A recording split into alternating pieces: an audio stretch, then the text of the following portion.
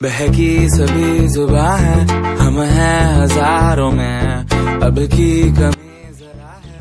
नमस्कार भाइयों, मेरा नाम है बीरेंद्र हरवा मैं जिला सागर का रहने वाला हूँ। मैं यहाँ लैटरिन करने को आया था और सोचा आपको थोड़ा सा नज़ारा दिखूँ। ये पत्थरी खदान है।